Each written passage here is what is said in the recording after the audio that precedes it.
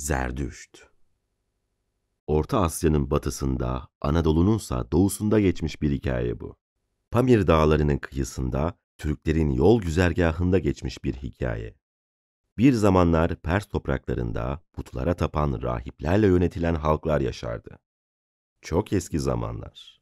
Orta Asya'yı kuş bakışı seyrettiğinizde bu tanrılar ordusuna sunulacak dua, ilahi ve adakların sayı ve çeşitleri de akıl almaz sayılara ulaşmıştı. Bir an gelmiş, halk hangi dua, ilahi veya adağın hangi tanrıya sunulacağını bile karıştırmaya başlamıştı. İnsancıklar herhangi bir tanrıyı gücendirmeden ibadet edemez hale gelmişti. Ayrıca tanrılar arasında kıskançlığa yol açmadan adak sunmak da çözümü zor bir mesele konumuna ulaşmıştı. Böylesine bir rahip saltanatının hüküm sürdüğü bu topraklara Rahman yardımını lütfetmekte gecikmemişti. Bu maksatla göklerden bir yıldız koparmış ve bu diyara bırakıvermişti. Bu yıldızın adı Zerdüşt'tü. Bu nurdan yıldız bu diyara düştüğü anda neler olmuştu neler. Rahip zümresini bir telaştır almıştı. Hele İran sihirci başısı Durasa'nın hali görülecek şeydi. Korkusundan tir tir titremeye başlamıştı. Zira doğan çocuğun büyüdüğü vakit sihri ve putperestliği silip atacağı ve bütün sihirbaz ve büyücülere dünyayı zindan edeceğini pek iyi bilmekteydi. Zira o yıldızı o diyara bırakmış olan Rahman, onun gönlüne de bu korkuyu nasip etmişti. Hem de nasıl. Onun için bu çocuğun tez zamanda katledilmesi gerekliydi. Onu kaçırıp kendisine getirsinler diye üç rahibini alelacele yola salmıştı ve muradına da ermişti. Kundağına sarılı Zerdüştü, daha önce sunakta yatırmış olduğu ateşin içine büyük bir zevkle atmış ve sonra da rahipleriyle birlikte orayı terk etmişti. Böylece sorunu kökünden hallettiğini sanmıştı. Ama yanılmıştı. Evine gelip de yavrusunu göremeyen anacığı tanrıların yardımına başvurmak üzere derhal ateş tapınağına koşmuş ve orada büyük bir sürprizle karşılaşmıştı. Yavrusu ateşin ortasında alevlerle oynamaktaydı. Planının akamete uğradığını gören Dorasan, üç rahibini tekrar yanına çağırmış ve çocuğu bu kez hayvan sürüsünün geçeceği bir yere bırakmalarını emretmişti. Emir derhal yerine getirildi. Ancak ne var ki bu kez de bir başka sürprizde olay cereyan etmişti. Sürü başı olan iri inek hızla koşup bebeğin üzerine bacaklarını germiş ve sürü oradan geçinceye kadar böylece kalmıştı.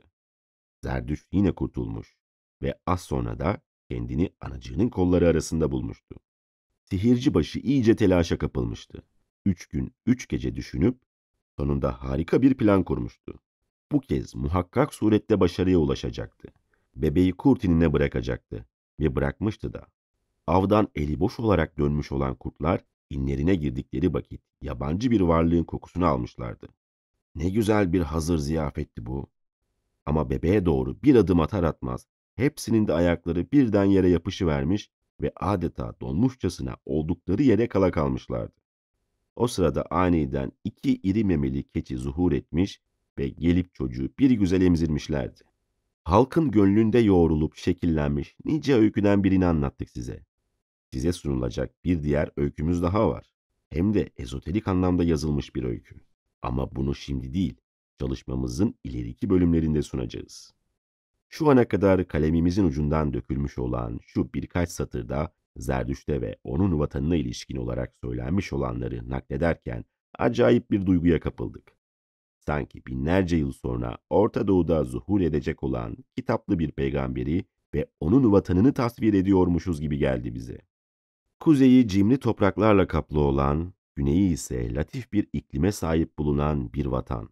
Bu vatan toprakları üzerinde tarım yaparak yaşamaya çalışan ve boğazına kadar putların arasına gömülmüş bulunan bilgiden ve görgüden yoksun bir halk yığını ve onları şaşkınlıktan ve sapkınlıktan kurtarıp bir ve tek tanrı fikrine ulaştırmaya ve onlara güzel ahlakı öğretmeye çabalayan cefakar ve muharip bir peygamber. Ne büyük bir benzerlikti bu. Ama biz bu işe şaşamadık. Zira ete kemiğe bürünüp insanlığı aydınlatmak üzere dünyada görülmüş olan yücelerin aynı ulu ağacın birer dalı olduğunu biliyorduk. Nitekim Adem ve Havva kavramı Zerdüşt'ün doktrininde de yer almıştı. Ama biraz ilginç bir tarzda. Bu doktrine göre gökyüzü bir tek kaynaktan ve toprak bir tek çekirdekten oluşmuştur. Tüm ağaçlar, tüm hayvanlar ve tüm insanlar da tek bir ağacın, bir tek hayvanın ve bir tek insanın sonsuz bir surette çeşitli olan döllerinden başka bir şey değildirler. Ormuz'un lütfettiği bir tek saptan önce 10 bin tür, onlardan da 100 bin tür meydana gelmiştir. Tüm ağaçların ilki Hom'dur. Bu dağların çalılarıdır. İranlılar bununla kutsal ateşi yakarlar. Tüm hayvanların ilki de boğadır. Uzun süre yalnız kalmış olan bu boğa, Ahriman tarafından öldürülünce ruhu tüm diğer hayvan tabiatlarının ruhu konumunu kazanmış ve mevcudiyetini Guşur'un adı altında sürdürmüştür. Onun arınmış döl sıvısından da biri erkek, diğeri dişi olan iki boğa doğmuştur. Tüm diğer hayvan türleri bu iki boğanın dölleridir. Nihayet ilk insan 15 yaşında bir delikanlı suretinde olmak üzere boğanın böğürlerinden oluşmuştur ve adı da Kaymor olmuştur. Bu genç insan hayvanların pek genel olan tipinden sıyrılıp seçkin bir şekil almıştır. Fakat ölümünden sonra bu insanın güneş tarafından arıtılmış ve bereketlendirilmiş olan döl sıvısı yeryüzüne serpilmiş ve orada ilk insan çifti yani Meşia ile Meşrana meydana gelmiştir.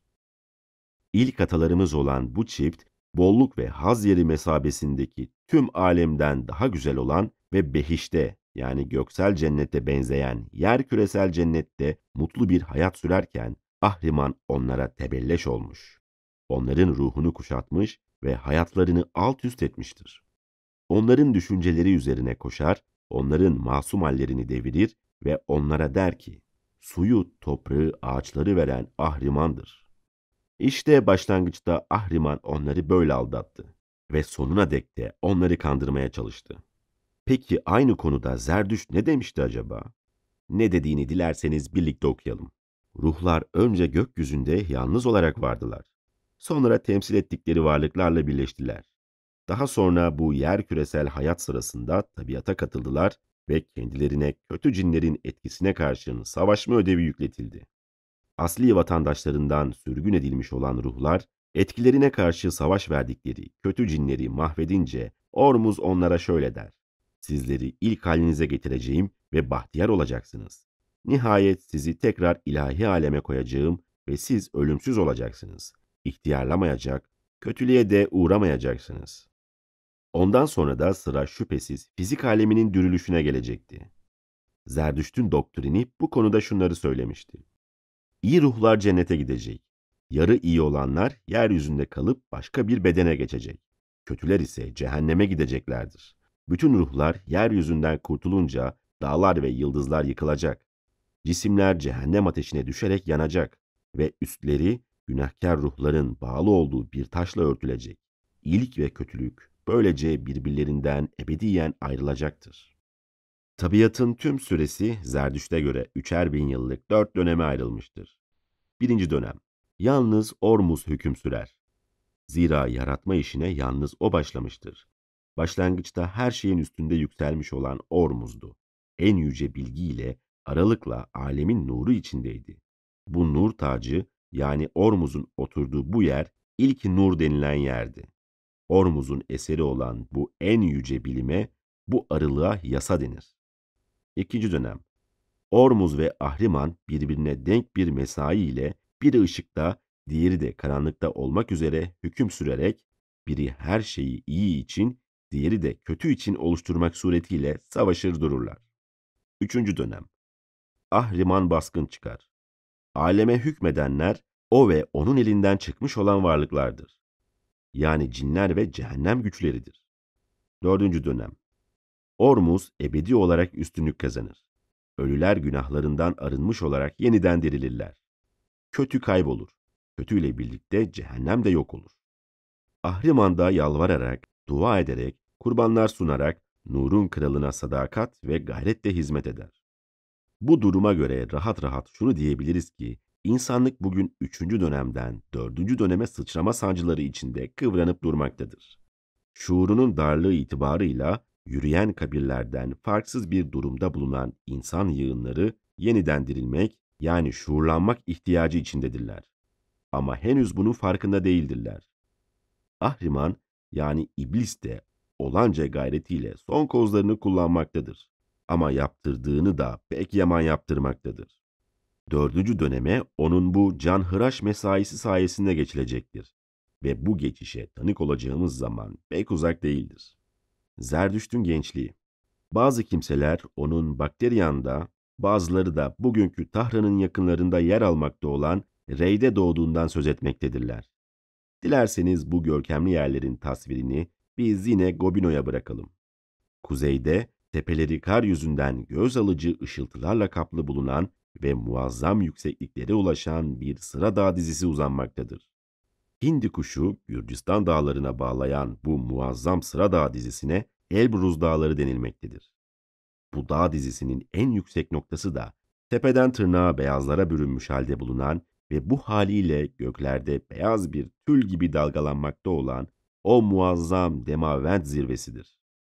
Orada gözlerinizin önünde düşüncenizin akışını durduracak tek bir ayrıntı bile mevcut değildir. Karşınızdaki manzara bir ummanı andırmaktadır. Harika renkli bir ufuk, berraklığını ve parlaklığını ne sözün ne de fırçanın tasvir edemeyeceği bir gök, gitgide yükselen dalgalar halinde ilerleyerek Elbruzlara tırmanan ve onların ihtişamı içinde kaybolan bir ova. Zaman zaman toz hortumları oluşmakta ve hortumlar döne döne mavi göklere doğru yükselmekte. Sonra gök kubbeye çarpmışçasına yalpalanmakta ve ardından da dağılıp gitmektedir. İnsanların kolay kolay unutamayacağı bir tablodur bu. İlk Zerdüşt'ün dünyaya geldiği çağda yani milattan 4 ila 5000 yıl kadar önceki zamanda kadim İran'da ve Pers ülkesinde kökenleri en arı beyaz ırka dayanan göçebe kabileler yaşamaktaydı. Saban yardımıyla toprağı sürmeyi, yerden mızraklar gibi fışkıran kutsal başığı yetiştirmeyi, ana göğsü gibi inek halka dalgalanan o altın sarısı ürünü devşirip kutsal demetler haline getirmeyi bu insanlar arasında sadece birkaç seçkin insan bilmekteydi. Evet, ürün devşiricilerin indinde bir utku madalyası mesabesinde bulunan bu sanada sadece seçkin bir topluluk vakıftı. Diğer insancıklar ise çoban hayatı sürmekte ve sürüleriyle haşır neşir olmaktaydı. Ama bunların hepsi de güneşe tapmakta ve ona şükranlarını çimenliklerdeki sunaklarında yaktıkları ateş vasıtasıyla sunmaktaydılar. O eski günlerdeki rahip krallarından yoksun kaldıkları için de küçük kabileler içinde yaşamaktaydılar. Ama ne var ki zaman gelmiş, kadim Arva'ya yani arı ve güçlü insanlar ülkesini ana vatanları Kuzey Ovaları ve Moğolistan dağları olan Turan kavimleri işgal etmişti. Muazzam bir insan fidanlığı mesabesindeki bu kuzey ülkesinin insanları yani Turan kavimleri Atlantis'in en dayanıklı ırkına mensup olan sarı tenli, çekik gözlü ve bodur insanlardı. Yaman silah imalatçıları olan bu yağmacı ve kurnaz süvariler de ateşe ve doğaya tapmaktaydılar. Kurtlar onlar için kutsaldı ve rehberleri kurtlardı. Ama şüphesiz ruhları aydınlatan ve kabileleri birbirine yakınlaştıran şu semavi ışığa değil, tam tersine kara büyünün babası gücündeki ateşe, yani murdar unsurlara bulaşmış bulunan dünya ateşine, başka bir ifadeyle söylemek gerekirse, haşin arzuları körüklemek suretiyle insanda servete kavuşma ve hemcinslerine hükmetme tutkusuna hayat veren ateşe tapmaktaydılar. Bunlar kendilerini karanlık güçlere adamış insanlardı. Arya tarihi, Turan kavimlerine karşı yürütülmüş mücadeleler tarihidir. İlk istilaların sarsıntısı altında Ari kabileleri darmadağın olmuş ve Yağız atlıların üzerinde savaşan sarı tenli süvarilerin önünde sanki bir iblis ordusuyla yüz yüze gelmişçesine kaçacak delik aramışlardı. En dik kafalıları dağlara çekilip direnmiş, diğerleri ise boyun eğip galiplerin boyunduruğunu ve o tefessüh etmiş durumdaki dinini kabullenmek zorunda kalmışlardır. İşte bu olayların cereyan ettiği sıralarda Elbruz dağlarında yaşamakta olan kabilelerin birinde kökeni kadim bir kraliyet ailesine dayanan Askarp adlı bir çocuk doğmuştu. Delikanlılık çağına eriştiğinde Askarp günlerini manda avlamakla ve Turanlılara karşı savaşmakla geçirmişti. Akşam olup da çadırına çekildiğinde bu yoksul kral çocuğu bir zamanlar kudretli Yima tarafından kurulmuş olan o kadim krallığı yeniden diriltip canlandırmayı sık sık hayal eder olmuştu. Ama ne var ki bu çevre hatları bir türlü belirginleşemeyen bir hayal olmaktan öteye geçememekteydi.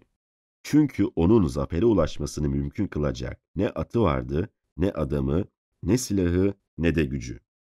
Günlerden bir gün Asya'da pek sık rastlanır türden üstü başı perişan bir keşif ehli pir ona, yeryüzü krallarına kıyasla çok daha büyük bir kudrete sahip bulunan ama onlarınki gibi tacı ve asası olmayan bir kral olacağını söylemişti. Pir'in kehanetine göre o, güneşle taçlandırılmış bir kral olacaktı. Duru bir sabah vakti tek başına yaptığı bir gezinti sırasında Askarp, yemyeşil ve bitek bir vadiye varmıştı. Yüksek sivri tepeler orada büyük bir sirk oluşturmaktaydı. Tarlalardan yer yer dumanlar yükselmekte, uzakta yer alan ve çit bitkileriyle sınırlanmış bulunan kulübelerin yukarısında da ağaç kütüklerinden yapılma bir revak dikkat çekmekteydi. Diz boyu otlarla, vahşi çiçeklerden oluşma, yeşil bir halının ortasından bir ırmak akmaktaydı. Arkas bu ırmak boyunca yoluna devam etmiş ve reçine kokulu bir çam korusuna varmıştı. Korunun dip taraflarındaki bir kayanın dibinde gözüne suyu gök mavisinden daha mavi olan berrak bir kaynak takılmış ve adımları oraya doğru yönelmişti. Yere diz çökmüş halde bulunan beyaz keten giysili bir kadın bakır çömleğini doldurmaktaydı. İşini bitirince ayağa kalkmış ve çömleğini başının üstüne oturtmuştu.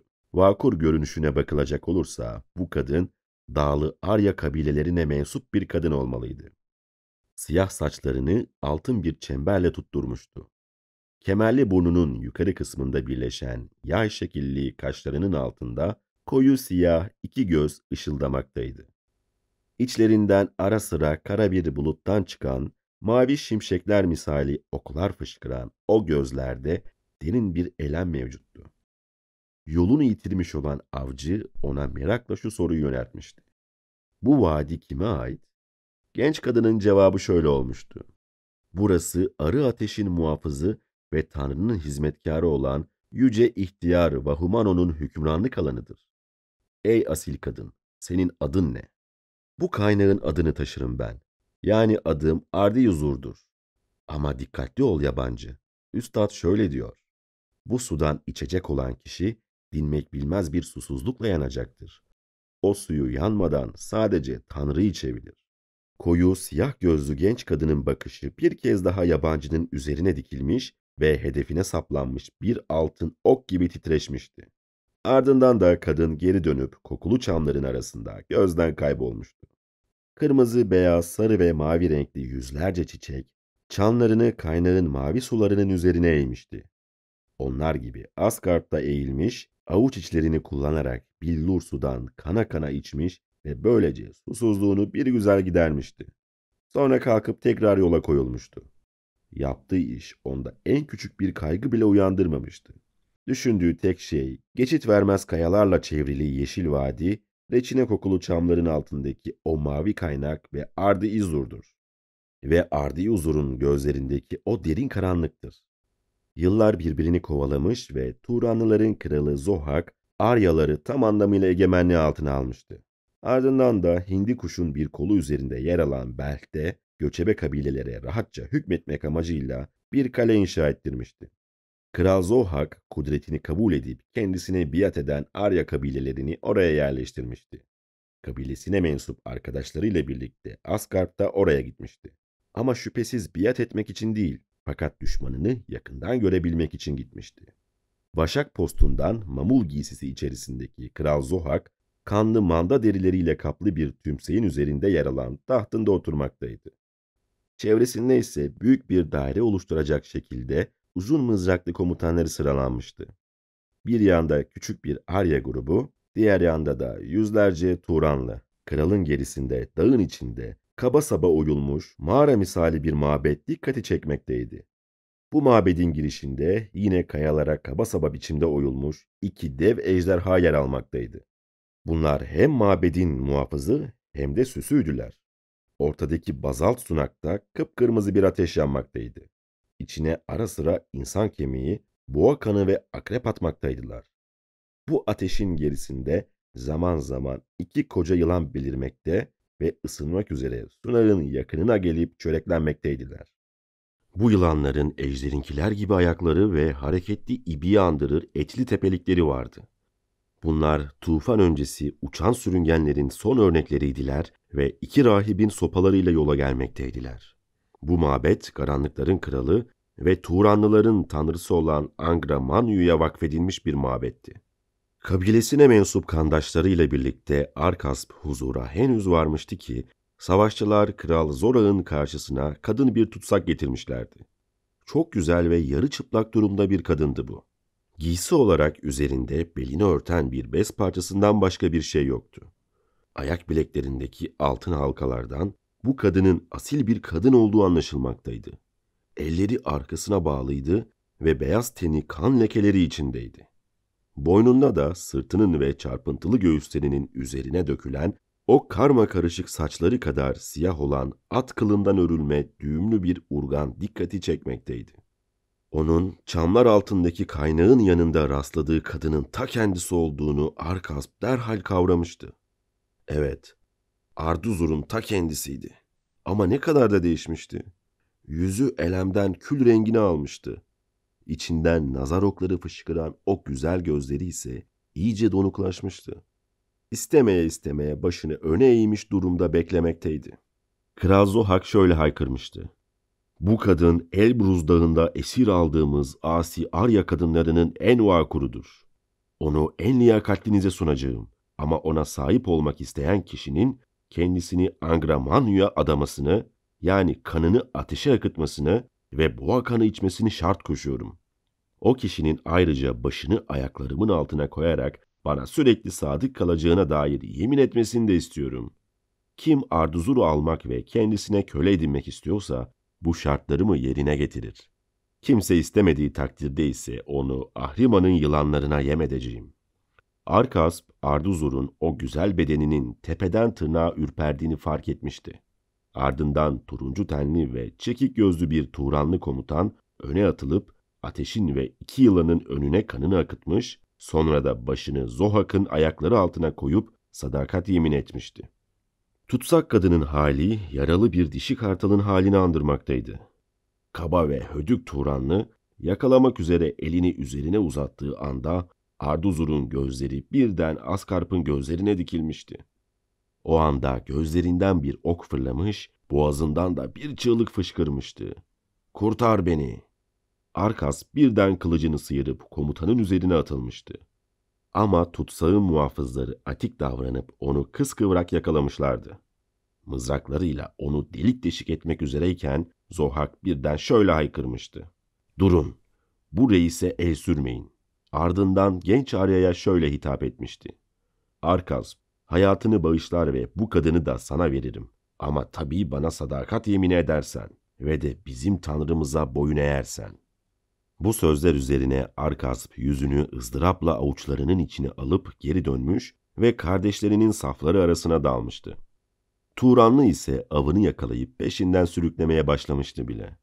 O anda Arduzur'un yeni çığlığı işitilmişti. Bunun üzerine Arkasp ani bir davranış göstermiş ama aynı anda arkadaşları onun üzerine atlayıp boğazına sarılmışlar ve ağzını kapamışlardı. Bıraksalardı bir çılgınlık yapacaktı ve bu da onun sonu demek olacaktı. O anda birden hava loşlaşmaya, güneş de kararmaya başlamıştı. Ve Arkasp'ın gözleri önünde birden kıpkızıl kan akan bir nehir belirmişti. Bu nehirde sanki tüm Turan ırkının kanı akmaktaydı. Güzel kurban uğruna, çamura bulanmış olan o yaralı ilahi Arduzur uğruna kan akıtmaya öyle bir can atmaktaydı ki, Arkasp işte böyle bir ruh hali içinde yere serilmiş ve kendinden geçivermişti. Genç Aryalı reis tekrar kendine gelip de gözlerini açınca kendini bir çadırda arkadaşlarının ortasında bulmuştu. Uzakta da gözüne bir atın eğerine bağlanmış durumda bir kadın ilişmişti. Az sonra bir süvari gelmiş, ata atlayıp kadını sımsıkı sarmış ve dört nala yola koyulmuştu. Ardına da ellerinde uzun mızraklarıyla Yağız atlı Turan süvarileri takılmıştı. Birlik süvarileriyle ve atlarıyla birlikte çok geçmeden gözden kaybolmuştu. O anda Arkasp'ın kulaklarına o reçine kokulu çamların arasındaki Arduzur'un kendisine söylediği sözler çınlamıştı. Bu sudan içecek olan kişi dinmek bilmez bir susuzlukla yanacaktır. O suyu yanmadan sadece Tanrı içebilir. Damarlarındaki kan da yanmaktaydı. Kemiklerindeki ilik de. Onu bu hale koymuş olan şey, ondan neşet bulmuş olan öç alma ve adaleti yerine getirme hırsıydı. Işığa ve hakikate ulaşma arzusuydu. Arduzuru ve ırkının selamete çıkarmasını mümkün kılacak olan kudrete kavuşma aşkıydı. Atı dağ tepe demeden adeta karnı yere yapışırcasına dört nala koşmuş ve sonunda Arkasp'ı tekrar Elbruz dağlarına ulaştırmıştı. Karlı tepeler arasındaki bir sürü kayayı aştıktan sonra çiçekli otlarla kaplı vadinin yolunu bulmuştu.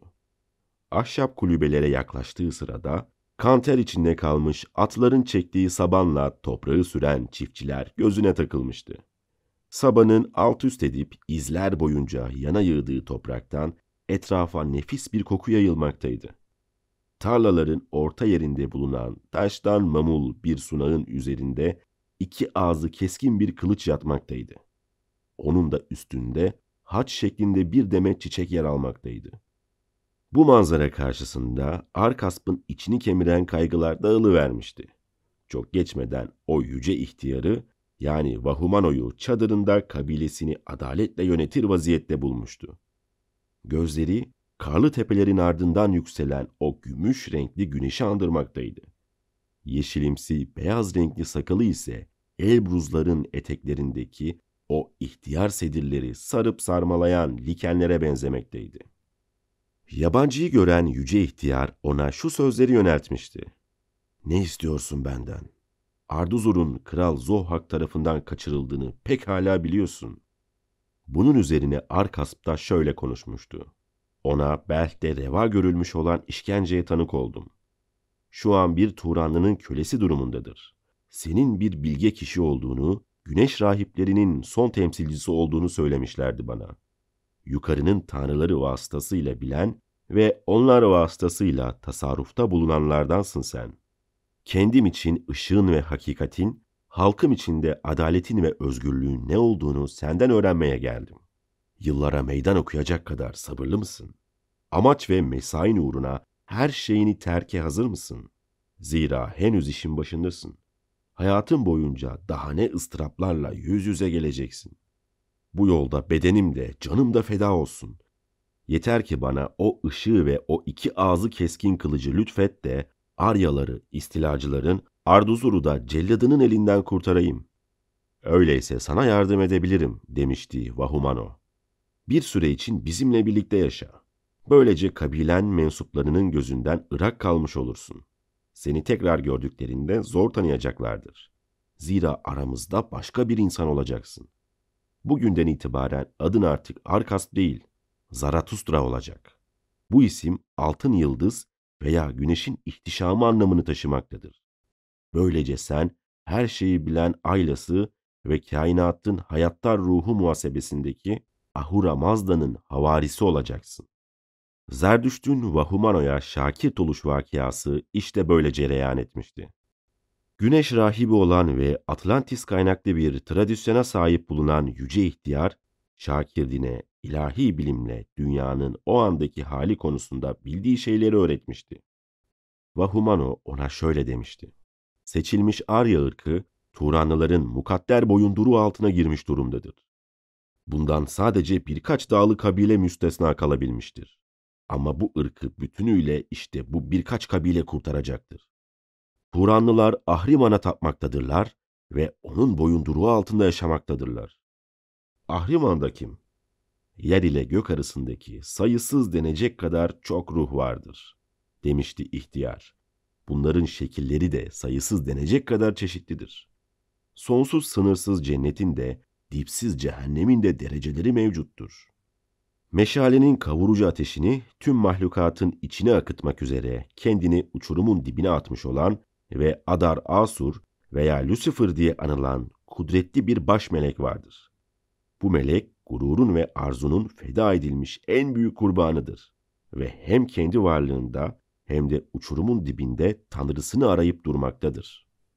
Gerçi feda edilmiştir ama buna rağmen ilahi anısını yine de muhafaza etmektedir ve bir gün vaktiyle elinden kaçırdığı tacına yani yitirdiği yıldızına tekrar kavuşacaktır. Lucifer ışığın baş meleğidir. Ahriman'a gelince o Lucifer değildir. Sadece onun gölgesi ve arka yüzüdür. Yani karanlık işlerle görevli çetelerin reisidir. Dünyaya ihtirasla yapıştığı için cenneti inkar etmekte ve tahripten başka bir şey bilmemektedir. Ateş sunaklarını murdar eden de odur. Yılan ayinini tesis eden de odur.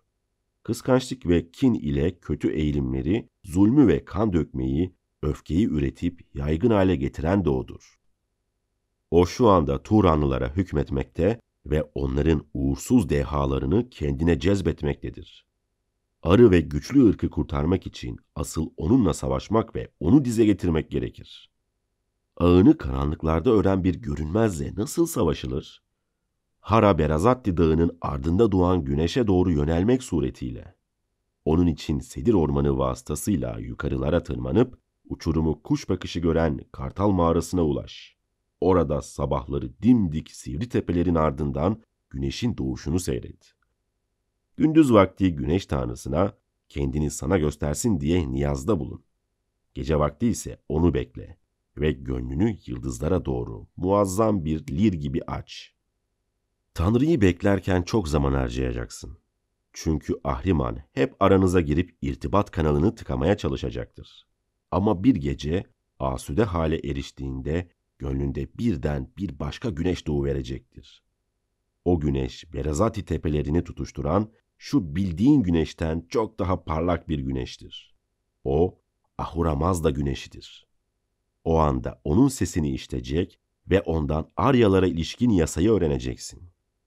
İnzivaya çekilmek üzere yola çıkma vakti gelip çattığında Zerdüşt mürşidine şu sözleri söylemişti. Turanlı'nın sürükleyip çadırına götürdüğü ve el anda onun kamçısı altında yüreği kana ağlamakta olan o eli kolu bağlı tutsak kadını nerede bulacağım? Onu nasıl kurtaracağım? Haykıran ve durmadan adımı heceleyip duran, o iplere sımsıkı sarılı, kan revan içindeki güzel bedenin hayalini gözlerimin önünden nasıl kovalayacağım heyhat? Reçina kokulu çamlar altındaki kaynağın ışıktan suyuyla çömleğini doldurmakta olan o Arya kızını ve onun gönlüme altın oklar saplamış olan gözlerini bir daha görebilecek miyim? Arduzur'u nerede bulacağım? Vahumano bir an susmuştu. O anda gözleri donuklaşıp yere dikilmiş ve kışla birlikte çam dallarından sarkmaya başlayan o sivri buzlar kadar iç karartıcı bir ifadeye bürünmüştü. İhtiyarın üzerine güneş battıktan sonra Elbrus tepelerine çöken hüzün misali bir hüzün çökmüştü. Sonunda ani bir hareketle sağ kolunu yana doğru açarak şöyle mırıldanmıştı. Bunu bilmiyor değilim evladım. Ama bunu sana Ahura Mazda söyleyecek. Haydi dağa git. Giysi olarak koyun postuna bürünmüş olan Zerdüşt, sedir ormanlarının bittiği yüksekliklerde yer alan ve uçurumu kuş bakışı gören mağarada tam 10 yılını geçirmişti. Hayatını Bahumano'nun çobanları tarafından kendisine zaman zaman yollanmakta olan manda sütü ve ekmekle idam ettirmekteydi. Mağaranın yukarısındaki kayaların arasına yuvarlanmış olan bir kartal, güneş doğduğunda onu çığlık atarak uyandırmaktaydı. Güneş, vadinin sislerini dağıtmaya başladığı anda bu kartal mağaranın ağzına gelip koca kanatlarını gürültüyle çırpmaktaydı. Münzevi'nin uyuyup uyumadığını kontrol eder gibiydi. Ardından uçurumun üzerinde birkaç daire çizmekte, sonra da ovaya doğru süzülmekteydi. Pers kitaplarının belirttiğine göre Ormuz'un sesini işitebilmek ve ondan zafer müjdesini alabilmek için yıllarca beklemişti. Başlangıçta Ahriman'ın ve onun azgın yardakçılarının saldırısına maruz kalmıştı. Bahumano'nun şakirdiği günlerini üzüntü ve elem içinde geçirmişti. Meditasyonlarının, spiritüel çalışmalarının ve günlük dualarının ardından hep düşmanın zulmüne uğrayıp ezilmiş halde bulunan Aryalıların geleceğini düşünür olmuştu. Bir yandan da Arduzur'u düşünmekteydi. Arya kadınlarının en güzeli olan Arduzur. Nasıl olur da iğrenç Turanlı'nın avuçları içinde kalırdı? Ne haldeydi acaba? İçini kaplamış olan o yürek darlığını bir nehirde boğmuş muydu acaba? Yoksa hala daha o kara talihine katlanmakta mıydı? Ya intihar etmişti ya da hala daha zillete katlanmaktaydı. Yoktu başka çaresi. Bu iki ihtimalin her ikisi de korkunç şeylerdi. İplerle sımsıkı bağlanmış olan Arduzur'un kanlar içindeki o güzel bedeni gözlerinin önünden bir türlü gitmek bilmiyordu. Peygamberliği yeni yeni zuhur etmeye başlamış olan bu has insanın meditasyonlarında hep bu imaj belirip durmaktaydı. Tıpkı bir şimşek veya meşale gibi. Geceleri gündüzlerden de beter geçmekteydi. Geceleri gördüğü rüyalar, gündüzleri zihnini doldurmakta olan düşüncelerini yol açtıkları dehşet açısından fersah fersah geçmekteydi. Zira Ahriman'ın tüm yardakçıları yani insanı ivaya ve dehşete gark eden tüm geri varlıklar, iğrenç ve tehditkar hayvan görünümleri altında gelip onun üzerine çullanmaktaydılar. Mağarayı çakal, yarasa ve kanatlı yılan sürüleri doldurur olmuştu. Ciyak ciyak haykırışlarının, fısıltılarının ve ıslıklarının amacı hep onun kendine olan güvenini sarsmaya ve onu misyonundan soğutmaya yönelikti. Ancak Zerdüşt gündüzleri zihninde Turanlıların zulmine uğramış olan ve bu yüzden de onların boyunduruğuna karşı gizlice baş kaldırmış bulunan binlerce göçebe Arya'yı, onların düşman tarafından kirletilmiş sunaklarını, kandaşlarının maruz kaldıkları hakaretleri ve o uğursuz kara büyü celselerini ve de Arduzur gibi kaçırılıp tutsak edilmiş olan kadınları sürekli şekilde canlandırıp durmaktaydı. Bu sayede içinde bir öfke belirmekte ve bu öfke de cesaretini bilemekteydi. Bazen gün doğmadan mağarasını barındıran dağın sedir ağaçlarıyla kaplı zirvesine tırmanmakta ve orada göğe doğru gerilmiş harp telleri görünümü arz eden ulu ağaçların dalları arasında rüzgarın iniltisini dinlemekteydi. Zirveden aşağılara doğru bakarak uçurumu, yeşil dik yamaçları, uçları sipsivri olan karlı tepeleri ve ufuklarda pembe bir sis altında uzanıp gitmekte olan İran Ovası'nı seyretmekteydi. Toprak ana demekteydi Zerdüşt. Binlerce memesini göklere doğru kaldırabilecek dirayeti gösterdiğine göre halkımı iki ayağı üzerine sağlam bir şekilde bastıracak dirayeti ben niçin gösteremeyeyim? Uçurumun sislerini tek bir ışık hüzmesiyle adeta mızrakla delercesine delip dağıtan kral yıldızın o pırıl pırıl diski parlı tepelerin ardından yüzünü göstermeye başladığı anda Zerdüşt derhal Ormuz'a gönlünü açmaya koyulmaktaydı. Her sabah Vahumano'nun öğütlediği şekilde dua etmekte ve şöyle demekteydi. Ey ışıl ışıl güneş! Hızlı atlarınla çabucak zuhur edip Haraberazatti göklerine tırman ve dünyayı aydınlat. Ama Ormuz bir türlü tezahür etmiyordu. Zerdüşt'ün gece rüyaları da gitgide daha korkunç bir hal almaya başlamıştı. Daha da iğrenç ucubeler tarafından kuşatıldığı bir anda bu kalabalığın arasında bir gölge beliri vermişti. Bu uzun matem giysilerine bürünmüş bir gölgeydi ve tüm bedeni gibi çehresi de siyah tülle perdelenmişti. Hareketsiz durmakta ve zerdüşte bakmaktaydı. Yoksa bu bir kadın gölgesi miydi? Arduzur olamazdı. Gök mavisi kaynaktan çömleğini doldururken görmüş olduğu o beyaz dilber böyle sevimsiz olamazdı. Bu gölge daima hareketsiz, daima tüllere sarılı ve daima bakışı zerdüştün üzerine dikili bir vaziyette, bir görünmekte, bir kaybolmaktaydı. Bir ay boyunca her gece değişik değişik ucubelerin arasında zuhur edip edip kaybolmuştu. Sonunda da zerdüşte yaklaşmaya ve cüretkarlık etmeye başlamıştı. Zaman geçtikçe siyah tüllerin gerisinde gelip geçici ışımalar halinde ışıl ışıl güzelliğe sahip sedef gibi bir beden parıldar olmuştu. Bu, Ahriman tarafından harekete geçirilmiş bir baştan çıkarıcı mıydı acaba? Yoksa mezarlık selvilerinin altındaki kabir mermerlerinin arasından insanları iç karartıcı aşklara duçar eden hayaletlerden biri miydi? Hayır, peçeli gölge çok mahzun ve çok görkemliydi. Bir gece vakti Zerdüşt'ün üzerine eğilmiş ve siyah peçesinin gerisindeki ağzından sıcak bir nefes çıkarmış ve görücünün yani medyumun damarlarına ateşten bir nehir misali yayılmıştı.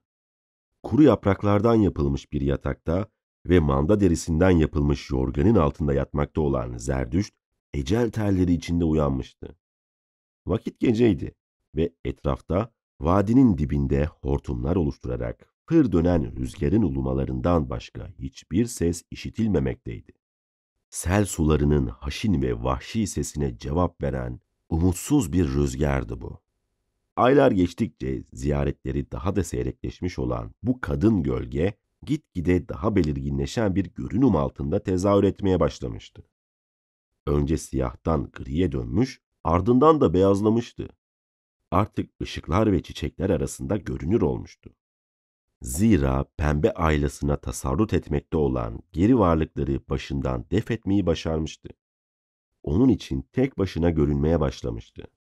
Günlerden bir gün tan yerinin beyazlığını andırır bir şeffaflık içinde tezahür edip iki kolunu zerdüşte veda anlamında uzatmıştı.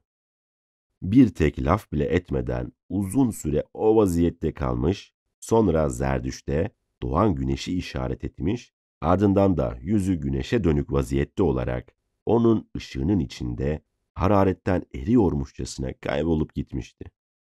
Uyandığında Zerdüşt uçuruma bakan mağarasının kıyısına kadar yürümüştü. Gün doğalı epey olmuştu. Güneş gökte bir hayli yükselmişti. İşte o anda tuhaf bir duyguya kapılı vermişti.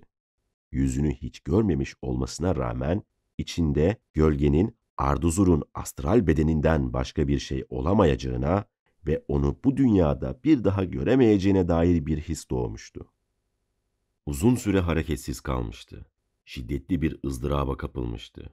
Gözlerinden sessizce yaşlar süzülmüş ve sakalının telleri arasında donup kalmıştı. Sonra dağının zirvesine doğru tırmanmıştı. İhtiyar sedirlerin dallarındaki buzdan sarkıtlar ilkbahar güneşi altında erimeye başlamıştı. Zirvedeki karlar şıkır şıkır pırıldamaktaydı. Sanki koca Elbruz buzdan gözyaşları akıtmaktaydı. Sonraki üç günü ve üç geceyi Zerdüşt pek feci şekilde geçirmişti. Bu süre içinde ölümü yaşamıştı. Hem de kendi ölümünü değil, fakat diğer yaratılmışların ölümünü. Artık o, ölümün sinesinde, ölüm de onun sinesinde yaşamaktaydı. Artık hiçbir şey umamaz hale gelmişti. Hatta Ormuz'u bile anmaz olmuştu. Tüm varlığında belirmiş bulunan ve kendinden geçmesine yol açmakta olan kırgınlığından ve büyük acısından başka hiçbir şeyde huzur bulamamaya başlamıştı. Ama üçüncü günün gecesinde uykusunun en derin noktaya vardığı bir anda önce gök gürültüsünü andırır bir şekilde başlamış olan sonunda da kulak okşayıcı bir mırıltı haline dönüşmüş bulunan müthiş bir ses işitmişti. Daha sonra ise üzerine bir ışık kasırgası çökmüştü. Bu öylesine şiddetli bir ışıktı ki Zerdüşt canının bedeninden sökülüp alındığını hissetmişti. O anda çocukluğundan beri kendisini bir an bile terk etmemiş bulunan ve onu vadide yakalayıp dağın zirvesine tırmandırmış olan kozmik gücün yani görünmeyenin ve adlandırılamayanın iç varlığında tanrıların insanlara hitap şekli olan kelam halinde tezahür etmek üzere olduğunu hissetmişti. Az sonra da ruhların sultanı ve kralların kralı olan Ormuz yani güneş kelam ona insan suretinde görünmüştü. Ormuz güzelliğe, kudrete ve ışığa gark olmuş bir halde ateşten tahtının üzerinde oturmaktaydı. Tahtını her iki yanından bir boğa ile kanatlı bir aslan taşımaktaydı. Kaidesinin altında ise kanatlarını açmış dev bir kartal dikkati çekmekteydi. Çevresinde ise üç yarım daire halinde sıralanmış bulunan ve ışıl ışıl parlamakta olan altın kanatlı kerubu ile gök mavisi kanatlı yedi Elohim ve lal kanatlı yedi baş melek bulunmaktaydı. Ormuz'dan zaman zaman bir şimşek sadır olmakta ve her üç alemi de ışıklara gark etmekteydi. O anda kerubilerde, Elohimlerde, baş meleklerde, tıpkı Ormuz gibi kar ışıltısı misali ışıl ışıl olmaktaydılar. Hemen ardından da asıl renklerine dönüvermekteydiler. Ormuz'un ihtişamına gömüldükleri anda bunlar Tanrı'nın vahdaniyetini tezahür ettirmekteydiler. O sırada Zerdüşt müthiş bir ses işitmişti. Ama ahenkli ve kainat kadar zengin bir sesti bu. Ona şöyle demişti. Seni yaratmış ve sonra da sevgili olarak seçmiş olan Ahura Mazda'yım ben. Ey insanların en iyisi olan Zerdüşt, şimdi sesimi dinle. Sesim sana gece gündüz demeden sürekli şekilde hitap edecek ve böylece sana hayattar kelamı yazdıracaktır. O sırada Ormuz'da ve her üç dairede yani baş melek Elohim ve Kerubu dairelerinde göz kamaştırıcı bir parıltı meydana gelmişti. Grup devleştikçe devleşmiş ve uçurumu bir baştan öbür başa kaplar hale gelmişti. Onun cesameti Elbruz'un sivri tepelerini bile içine almıştı. Ama gök kubbeyi istila etmek üzere yukarılara doğru yayılmaya başladığı zamansa grubun ışıltısında bir solgunlaşma hasıl olmuştu. Ahura Mazda'nın sesi dağda uzaklardan gelen bir gök gürültüsü misali hala daha yankılanmaktaydı. Sonunda bu ses tunçtan yapılmış bir kalkan şakırtısı ile sona ermişti. Zerdüşt yüzü koyun yerde yatmaktaydı. Kendine gelip de gözlerini açtığında perişan bir haldeydi. Onun için de mağaranın en kuytu köşesine çekilmişti. Av bulamadığı için uçurumun diplerinden yukarıya çıkmış olan kartal, o sırada mağaranın yukarısında bir yere tünemiş bulunmaktaydı. Az sonra tünediği yerden ayrılmış ve gayet samimi bir şekilde gelip Münzevi'nin yanı başında yere konmuştu. Ormuz'un şah kartalı sonunda onun peygamberini artık iyice tanımıştı. Kuşun sırtı yağmurdan sırılsıklandı. Önce gagasıyla tüylerini perdahlayıp düzeltmiş, sonra bulutların altında güneş göründüğü bir anda kurutmak üzere kanatlarını iki yana açmış ve gözlerini güneşe dikmişti. O andan itibaren Zerdüşt, Ormuz'un sesini her gün duyar olmuştu. Ses ona gece gündüz demeden bir iç sesi halinde veya Tanrısının hayatlar düşünceleri mesabesinde canlı imajlar şeklinde hitap etmekteydi. Ormuz ona dünyanın yaratılışını ve asıl kökenini öğretmişti. Yani hayattar kelamın evrendeki tezahürünü, kozmik hiyerarşileri veya güçleri, yaratıcı faaliyetin firesi mesabesinde olan ve de kötülük ve yıkım ruhu konumunda bulunan Ahriman'a karşı yürütülecek kaçınılmaz mücadeleyi ve ona karşı dua ve ateş ayini vasıtasıyla savaşma yollarını öğretmişti. Turanlılara karşı kutsal silahlar vasıtasıyla nasıl savaşacağını gösterip belletmişti. Ona ayrıca insanın toprağa karşı olan, toprağın da onu işlemeyi bilen insana karşı olan aşkından söz etmiş ve toprağın ürünün görkemli oluşundaki payını ekilip biçilmekten duyduğu hazzı ve onun çiftçi ailesinin üzerine hayır duaları halinde yayılan gizli güçlerini öğretmişti. Avesta, baştan sona kadar Ormuz'la Zerdüşt arasında geçen konuşmalarla dolu bir kitaptır. Bu dünyada en hoş şey nedir? Ahura Mazda cevap verdi. Bir insanın onun üzerinde yürümesidir. Dünyada en güzel ikinci şey nedir? Tertemiz bir insanın içinde kadın, çocuklar ve besili sürüler bulunan ve de ateşle ve hayvanlarla donatılmış olan bir ev inşa etmesidir. Zira böyle bir evde dürüstlük bereketi olur. Ve Zerdüşt, Ormuz'un kelamı vasıtasıyla toprağın kendisini saygı duyarak işleyen insana verdiği cevabı işitmişti. Toprak şöyle demişti. Ey insan, sana her zaman destek olacağım ve sana geleceğim. Ve gerçekten mis gibi kokusuyla ve burcu burcu tüten dumanı ile birlikte ona toprak da gelmiştir. Onda neşet bulup boy veren yeşil başak da, ambarları dolduran görkemli mahsuller de, Budist karamsarlığının ve mücadeleyi dışlayan tevekkül doktrininin aksine Avesta'da sağlıklı bir iyimserlik ve enerjik bir mücadelecilik egemendir. Büyük mücadele ve zafer meleği. 10 yıl süreli bir yalnızlık ve meditasyon döneminden sonra doğduğu kabileye dönmüş olan Zerdüşt'ü kandaşları zor tanımışlardı. Gözlerinden savaşçılara özgü bir alev fışkırmaktaydı. Sözlerinden de özgür bir yüksek otorite intişar etmekteydi. Kabilesiyle birlikte komşu Arya kabilelerini de bir araya getirip onları Turanlılara karşı savaşmaya teşvik etmişti. O arada onlara vahyini yani hayattar kelam veya Ormuz'un kelamı demek olan Avesta'yı da müjdelemişti. Bu kelam onun eserlerinin can bahşedici merkezi haline gelmişti. Eserlerinin üç ana esasını arınma, çalışma ve mücadele teşkil etmekteydi. Ruhun ve bedenin dua ve ateş ayini vasıtasıyla yani Zerdüş tarafından Ormuz'un oğlu diye adlandırılan ve Tanrı'nın ilk nefesini içeren ateş ile arındırılması, toprağın saban vasıtasıyla işlenmesi ve de selvi, sedir ve portakal gibi ağaçların yetiştirilmesi, Bu faaliyetin aile ocağında rahibe zevcenin aşkıyla taçlandırılması. Ahriman'a ve Turanlılara karşı mücadele. Zerdüşt'ün yönetimi altında Aryalıların hayatı, silah elde sürekli bir teyakkuz haline dönüştüğü gibi, tarımsal faaliyetle yuvada uyandırılmış olan yiğitlere özgü sevinç vasıtasıyla sevimli kılınıp, ritimli hale getirilmiş, sürekli bir mücadele görünümüne de bürünmüştü. Günlük ateş sunma ayinleri, Ormuz'un ilahileriyle güzelleştirilmeye başlanmıştı. Başarı yolunda adım adım ilerlenmekteydi. Fethedilen yerlerde Zerdüşt derhal geleceğin çekirdek sitesini oluşturmak üzere çitle çevrili kamplar kurdurmaya başlamıştı.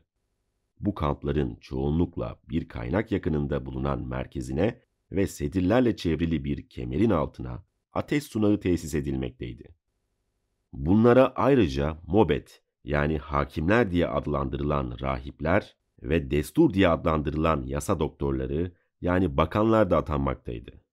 Mazden dinine mensup olup da kızlarını Turanlılara verenlere veya Turanlılardan kız alanlara ölüm cezası uygulanır olmuştu. Zerdüşt, savaşçı çiftçilerine sadık köpek, hızlı at ve uyanık horoz gibi kutsal hayvanları beslemeyi tavsiye etmekte ve onların iyi arkadaş ve iyi yardımcı olduklarını ifade etmekteydi. Horoz ne der insana? Şunu der, kalk, gün doğuyor. Cennete ayağa ilk kalkan girer. Tüm gerçek inisiyeler gibi Zerdüş de şüphesiz tekrar doğuş yasasını bilmekteydi. Ama ondan hiç söz etmemekteydi. Misyonu sırasında bu konuyu hiç ifşa etmemişti. Zira bu konu Ari ırkını müstakbel eylemi sırasında yani tarım yoluyla alan kazanma ve aileyi billurlaştırma eylemi sırasında pekala yolundan saptırabilirdi.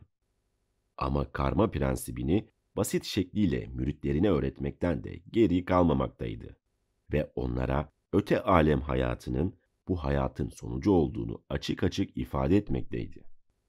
Arınmamışlar Ahriman'ın ülkesine gitmekteydiler. Arınmışlar ise elmas kadar parlak ve kılıç kadar keskin olan ve de Ormus tarafından inşa edilmiş bulunan ışıktan bir köprünün üzerinde yol almaktaydılar. Bu köprünün yukarılarında onları 15 yaşındaki bir bakire kadar güzel bir melek beklemekteydi. Ve onlara şöyle hitap etmekteydi. Ben senin eserinim, senin gerçek benliğinim, bizzat senin tarafından yontulup şekillendirilmiş olan öz varlığınım. Zerdüşt'ün iç varlığında yine de söze dile sığmaz bir elem yatmaktaydı. Peygamberlere özgü olan ve vecd hallerinin ağır bir bedeli mesabesinde bulunan şu feci melankoli bazen onu da bulantmaktaydı. Onun mesaisi sinesinde dağların dağları, ovaların da ovaları kovaladığı şu İran ufukları kadar geniş kapsamlıydı. Ahura Mazda tarafından cezbedilişiyle orantılı olarak Zerdüşt'ün yüceliği de artmaktaydı. Bu yüceliği ise onu insanların gönlünden uzaklaştırma sonucunu doğurmaktaydı. Mücadele sırasında onlarla omuz omuza yaşamakta oluşuna rağmen yine de bu sonuç hasıl olmaktaydı. Bazı sonbahar akşamlarında hasat demetlerini taşımakta olan kadınlar sıralar halinde onun önünden geçmekteydiler. Bazıları yanına uğrayıp diz çökmekte ve buğday demetlerini tarlaların ortasındaki sunağın yakınında bir taşın üzerine oturmuş bulunan peygambere göstermekteydiler. O da bazı sözler mırıldanarak kollarını onlara doğru uzatmakta ve onların gürbüz enseleriyle güneşte bronzlaşmış kollarını süzmekteydi. Bu kadınların bazıları ona Arduzur'u hatırlatmaktaydı. Fakat gök mavisi kaynaktan çömleğine ışık doldurmakta olan o bakirenin sahip olduğu o ışıl ışıl beyazlığa hiçbirisi sahip değildi. Onun tavırlarındaki o vakar hiçbirinde mevcut değildi. Hiçbirinin yüzü onun o kral kızlarına yakışır güzellikteki yüzüne, hiçbirinin bakışı da onun o kartallara özgü bakışına benzememekteydi. Hiçbirinin sesinde o teşhir edici tını yoktu. Onun sesi hala daha kulaklarında çınlamaktaydı. Kurtar beni. Ama ne yazık ki onu kurtaramamıştı. Onun eseri felakete uğramış bir kadının çığlığı sayesinde çiçeklenmişti. Ama o, Ardüzur, nerede mumlar misali eriyip gitmekteydi acaba? Yaşıyor muydu? Yoksa ölmüş müydü? Her şeyi bilen Zerdüşt bir bunu bilemiyordu. Bütün yalvarmalarına, yakınmalarına rağmen Ahura Mazda bunu ona yine de ifşa etmemişti. Bu sır ile onun arasına koyu bir perde koymuştu. Bir sürü sürprizlerle dolu olan 40 yıllık gürültülü patırtılı mücadeleden sonra galipleri hırpalamaktan yine de geri kalmamış olan Turanlıların kralı Zohak öldürülmüş, kalesi de Aryalar tarafından işgal edilmişti. Zerdüşt Aryaların başına kral olarak Lorasp'ı geçirmiş ve Belt'te her iki dev yılanı paramparça ettikten sonra Ormuz dinini kurmuştu. Hemen ardından da o utanç verici Ahriman dinine hizmet etmiş olan mağaranın içini çakıl taşlarıyla doldurtmuştu. Faaliyetlerini bu şekilde mutlu bir sona ulaştırmış olan Zerdüşt, Ormuz'dan ırkının istikbalini öğrenmek, sonra da bu ifşaatı kandaşlarına iletmek üzere mağarasına çekilmeyi tasarlamıştı. Bir ay sonra en seçkin üç müridine kendisini son talimatları almak üzere Elbrus tepesine çıkarmalarını emretmişti.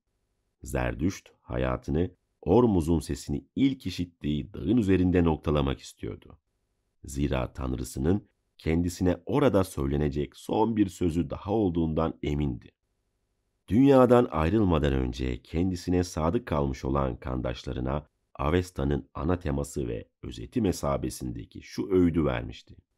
Bana kulak verenler, eşyanın ve karanlıkların sembolü olan Ahriman'a değil, ilk ateşe, kelama yani Ahura Mazda'ya gönül versinler ve onda yaşasınlar.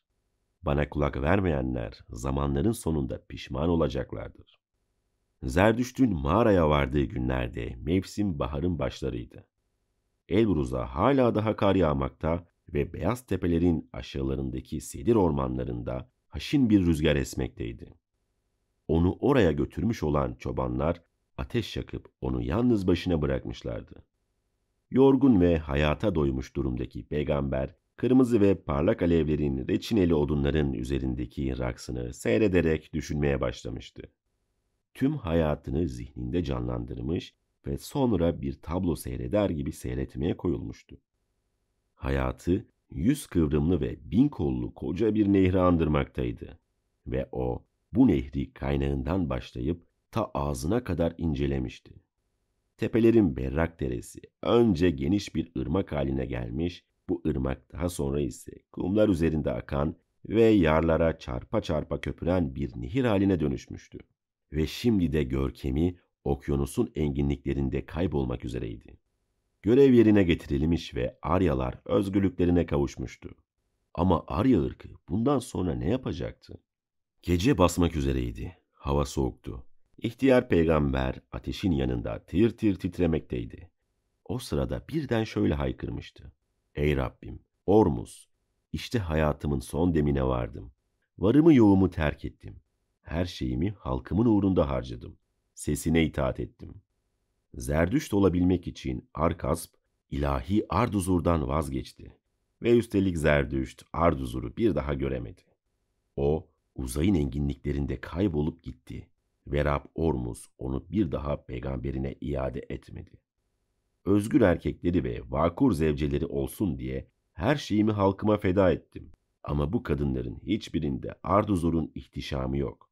Onun gözlerinden fışkıran o altın renkli aleve bu kadınların hiçbiri sahip değil. Irkımın istikbalini görmeyi ne kadar isterdim. Bu sözleri mırıldandığı sırada Zerdüşt uzaklardan gelen bir gök gürültüsünü işitmişti.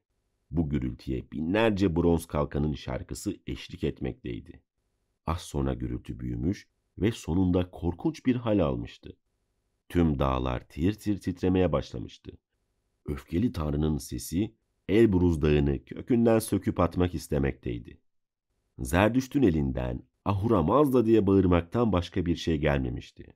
Ve dehşete kapılmış olan peygamber göksel sesin etkisiyle derhal kendinden geçip yüzü koyun yere kapaklanmıştı.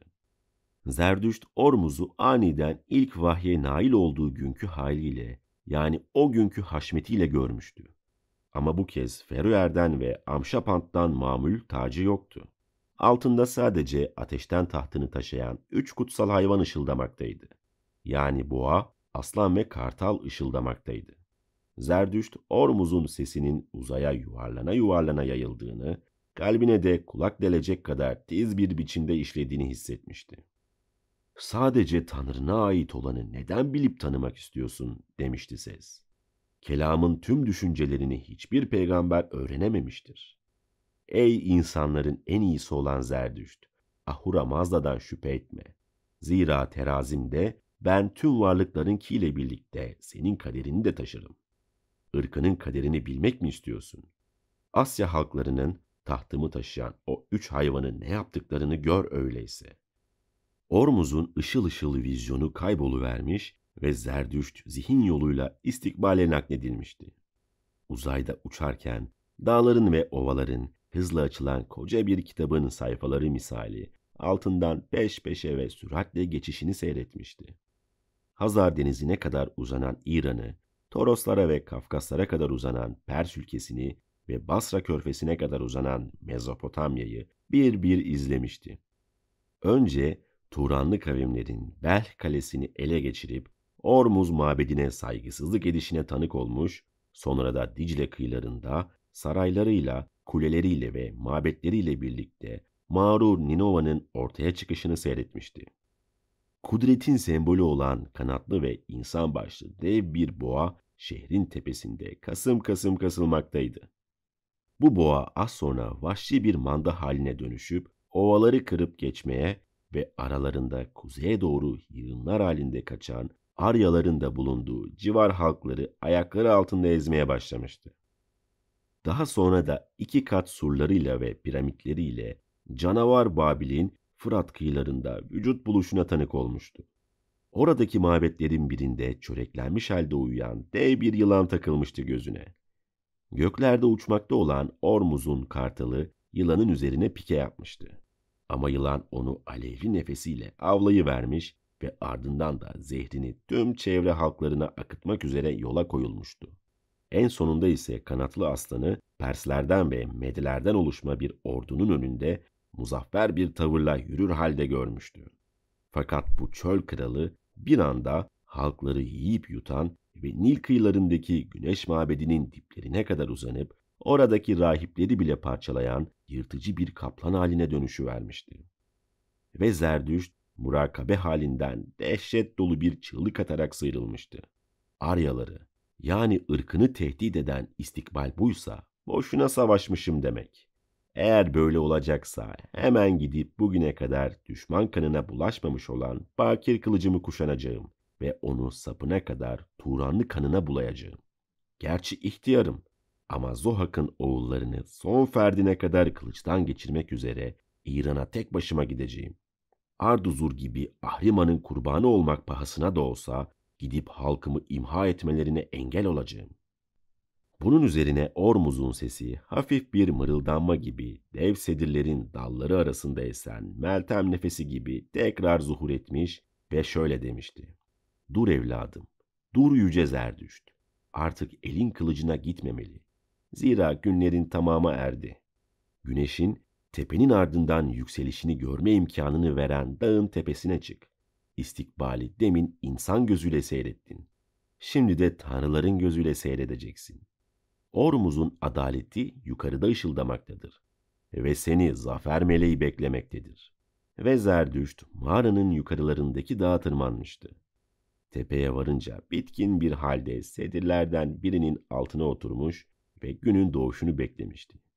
Güneş, ak dorukların çevresindeki ormanın gerisinde göründüğü anda ihtiyar savaşçı tepeden tırnağa şiddetle ürpermişti.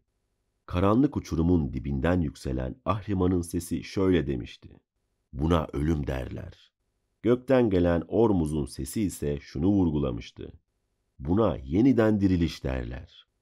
Zerdüşt'ün gözüne birden ayaklarının ucundan başlayıp göğe doğru yükselen ışıktan bir kemer takılmıştı.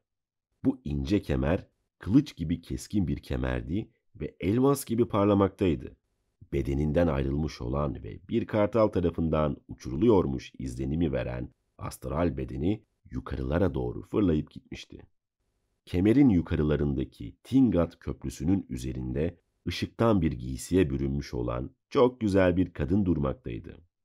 etrafa vakar ve insanüstü bir sevinç saçmaktaydı. Omuzlarından iki ak yıldırım kadar ışıklı iki kanat fışkırmaktaydı.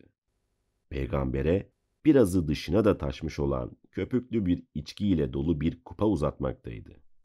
Zerdüş'te bu kadını oldum olası tanıyormuş gibi gelmişti. Ama yine de kim olduğunu çıkaramamıştı. Harika tebessümünün parıltısı çehresini ne kadar da aydınlatmaktaydı. Ey harika kadın, kimsin sen? Ey benim mürşidim, beni tanıyamadın mı? Arduzurum ben.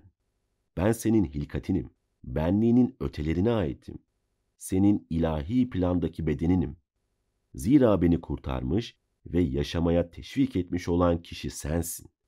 Beni kaçırmış olan Turanlı'yı dehşete ve hiddete kapılıp öldürdüğüm için kardeşlerinin hançer darbeleri altında can verdikten sonra seyyal bedenim uzun süre karanlıklarda başıboş dolaşıp durdu. Sana sık sık görünmüş olan gölge oydu işte. Umutsuzluğum, vicdan azabım ve arzumla seni epeyce üzdüm. Ama senin duaların, gözyaşların ve çağrıların sayesinde Ahriman'ın ülkesinden yavaş yavaş kurtuldum. Aşkının sıcaklığı ve düşüncenin parıltısı sayesinde Ormuz'un ihtişamına ben de yakınlaşmış oldum. Sonunda abı hayatı ışık kaynağında birlikte içeceğiz. Zafer meleği haline dönüşü vermiş olan güzel Arduzur, Zerdüşt'ün kollarına, kocasının kollarına atılan bir zevce misali atılmış ve ona köpüre köpüre kabarmakta olan ebedi gençlik şarabını sunmuştu. O sırada peygamber tüm varlığını bir ışık ve ateş dalgasının doldurduğunu hissetmişti. Bir anda Arduzur gözden kayboluvermişti. Çünkü kurtarıcısının içine işlemeyi başarmıştı. Şimdi Arduzur artık Zerdüşt'ün kalbinde titreşmeye ve onun gözleriyle bakmaya başlamıştı. Gerçi Zerdüşt kendi gönül gözleriyle bakmaktaydı. Ama buna rağmen Ormuz'un ihtişamını aynı anda birlikte seyretmekteydiler. Bundan böyle tek bir varlıktılar. Zerdüşt, Arduzur'un kendisinden kopmadan uzaklara ayrılabildiğini veya benliğini yitirmeden kendisinin özünde eriyip gittiğini hissetmekteydi. Gözleri aniden yer küre üzerine yöneli vermiş olan peygamber, Arya kabilelerinin ve halklarının uzun kervanlar halinde ilerlediklerini görmüştü. Başlarında Arduzur yürümekteydi ve onları batıya doğru götürmekteydi.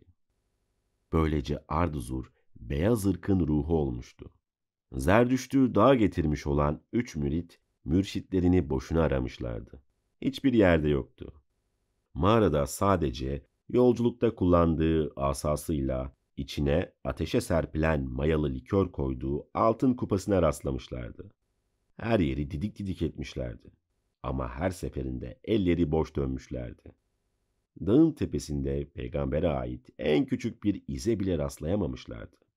Ona dostluk etmiş olan kartal uçurumun üzerinde tek başına uçmaktaydı ve güçlü kanatlarıyla mağaranın böğürlerini yalayıp geçerken gözleri hep o inziva arkadaşını aramaktaydı.